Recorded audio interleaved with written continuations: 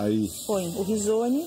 E ele cozinha de forma diferente. É, se você for comprar o risone, não é caro, né? Não. Você pode comprar e olhar sempre na embalagem o tempo de cozimento dele. Exatamente. Põe um salzinho. Sabe o que é importante lembrar? Que tem que tirar sempre um pouco antes de estar pronto, porque ele Perfeito. continua cozinhando, né? Então assim não fica empapado. Aí vou Aqui, colocar o caldo. É, duas colheres de sopa de manteiga, aí foi alho também, Eu pus um pouquinho um de dentinho alho, de alho, aí uma xícara de risone, o caldo de legumes, ou pode ser de frango também, E agora ele vai cozinhando aqui, podemos aumentar o fogo. e aí ele vai cozinhando. Vai, depois a gente vai colocar creme de leite fresco, é, finalização, um parmesão pouquinho. e salsinha, É, só. só. Esse é o risone, que é um prato simples de fazer. E, Tem crianças que não gostam de nada verdinho, põe só o parmesão. e é sal. Sal e limão. Paula, Um o Reinaldo de São Paulo está perguntando se pode colocar vinho branco para cozinhar o Pode. risone. Pode? Pode, fica gostoso. Põe só um pouquinho, mas é diferente do risoto. Põe um pingo só, porque ele absorve mais do que o arroz, a massa.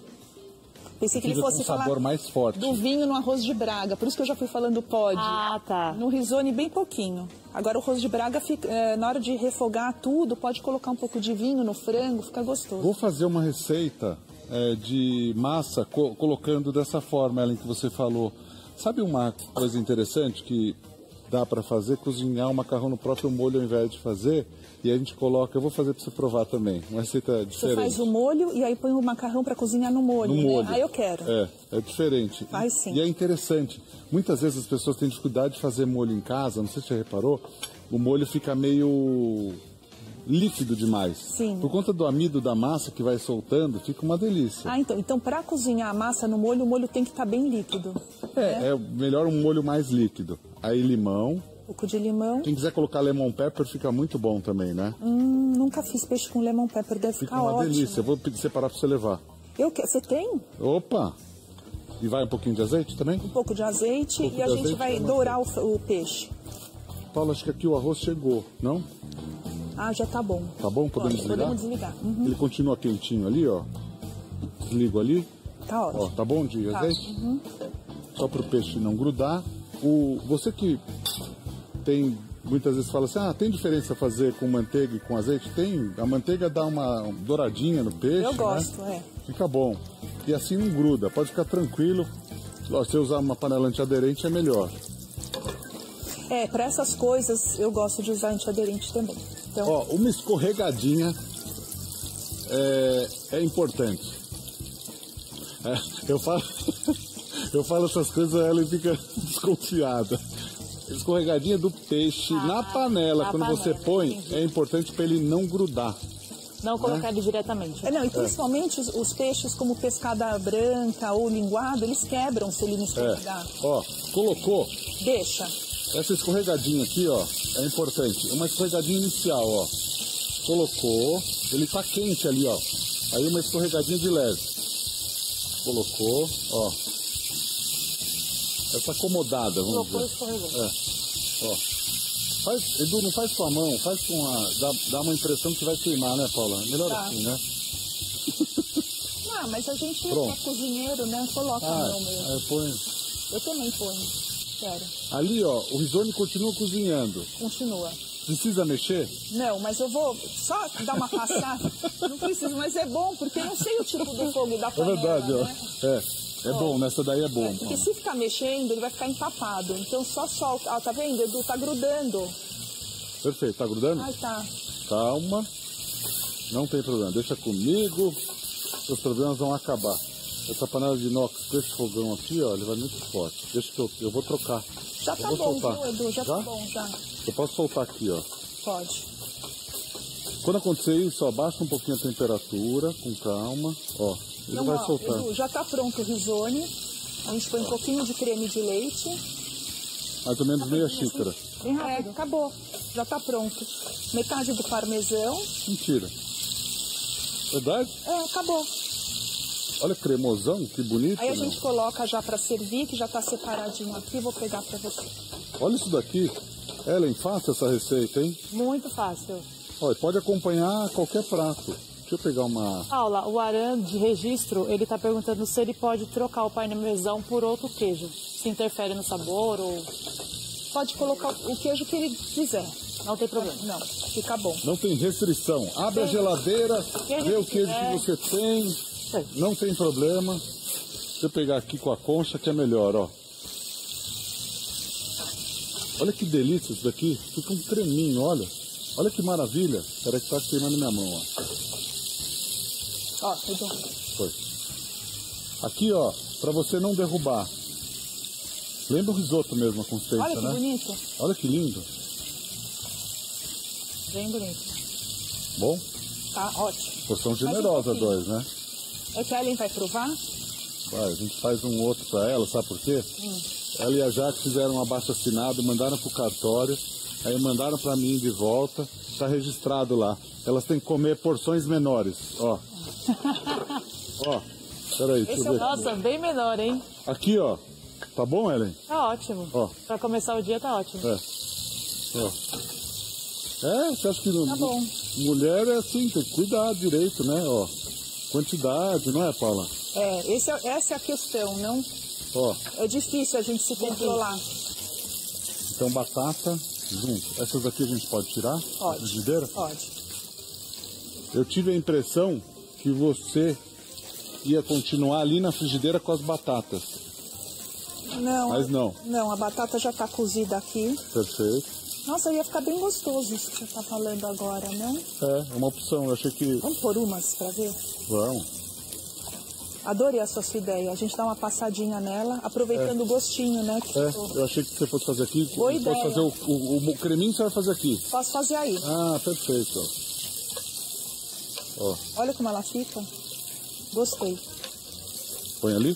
Põe aqui, ó. Só para dar uma diversificada. Quem É, quiser pra- fazer, pode. ver, É. Agora o peixe ficou bonito, hein? Olha que maravilha. Esse risone sensacional. Deixa eu ver uma coisa. Gostou? Uhum, nunca tinha experimentado. Você nunca tinha comido? Não, muito bom. Eu só quero ver se tá muito Amei. escuro aqui, senão o, o- o creme vai ficar escuro também. A gente pega uma Vamos outra. fazer aqui. Vamos fazer aqui, ó. Vamos fazer. Troca. Não tem Ele é bem problema. amarelinho, né? Perfeito. Tá. Então vamos começar o molho. Manteiga, Manteiga. Pouquinho de manteiga. Então, Aí a cebola duas colheres de sopa de manteiga. manteiga. E cebola bem picadinha, bem pequenininha. Perfeito. Na sequência eu vou fazer um camarãozinho que vocês vão se surpreender também, Ai, que viu? delícia. Combina com esse prato, né? Manteiga, a cebola. Isso, agora Esse deixa daqui é ela um dourar. refogado que vai aqui, vai em cima desse? Vai do peixe. Ah, E perfeito. aqui, enquanto isso, enquanto refoga a cebola, eu vou misturar o creme de leite fresco num bowl Creme de leite fresco. Com um pouquinho de açafrão da terra. Só colocar pra mim. Já vou deixar aqui a sua páprica Ah, vou colocar páprica. Perfeito. e a doce. Então vamos, vamos misturar o açafrão, a gente vai olhando a cor, tá? Tem que ficar um amarelinho bonitinho, não muito forte. Perfeito.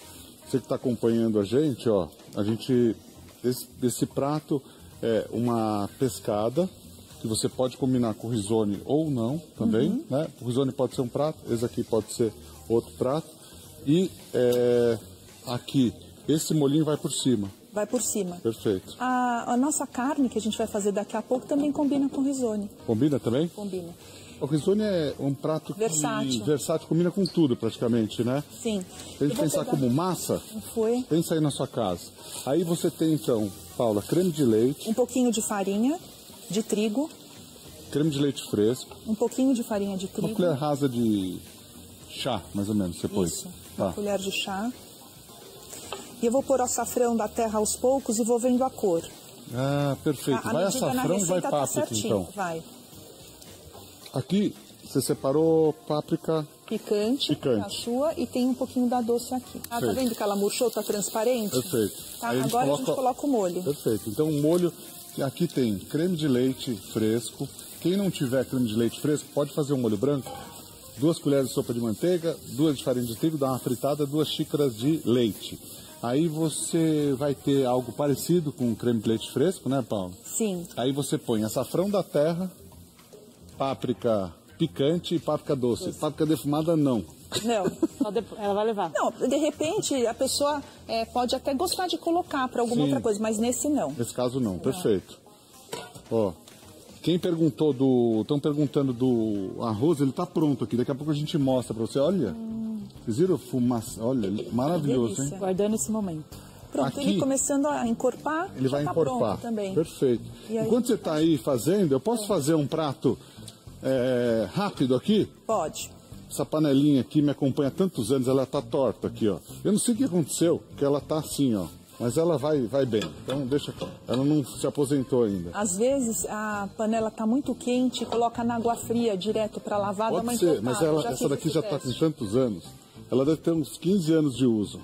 Eu tenho dó de aposentar. Panela velha que faz comida boa. É, e eu tenho dó de, de aposentar as panelas. Perguntou do, do arroz do dia anterior, pode jogar nisso, Hum, olha só. esse refogado, e Vocês faz um vão se arroz de camarão. surpreender com o que eu vou fazer. Ó, ó o que vai virar esse. Vamos ver. Ó o que vai virar, o meu querido Denis. Ó, meu diretor, ó o que vai virar isso daqui, ó. Preste atenção, hein? Agora vocês vão se surpreender. É, aqui o camarãozinho só, deixa eu só acabar isso aqui rapidinho, ó. Esse camarãozinho. Um, eu vou pegar essa panela aqui ao lado. Vou pegar um pouquinho desse camarão aqui, ó. Sobrou o risone. Aqui, ó. Eu vou colocar um pouquinho aqui, ó. Ótima ideia. Show de bola. Vou colocar um pouquinho desse caldinho para reavivar o risone. Ó, pronto. Aí aqui, ó. Obrigado, Paulo. Vai virar três pratos daqui, vocês acreditam ou não? Ó, Nossa, ficou lindo. aqui com o risone que sobrou, Nossa, adorei isso. com o risone que sobrou, você... Faz Receita assim, nova ó. de risoto. Tá nova. Aí, esse é um. O outro tem o peixinho ali do lado. Ah, tem. Aqui, ó. Olha que legal que dá pra gente fazer. Ó. Obrigado, Paula. Olha que legal que dá pra gente fazer aqui, ó. Pegar o camarãozinho e colocar em cima do peixe, ó, que sobrou também, ó. Ele pode ser o prato único também, né? Se a gente quiser. Ó, aí você acomoda ele aqui em volta, ó. Sai cambaleando aqui pra todo lado. Nossa, ficou lindo. Ficou lindo. Ó, então fica um Verdade. prato aqui, depois eu vou arrumar todos para vocês verem. Ó. Legal, né? Só limpar o prato agora. E aqui, ó.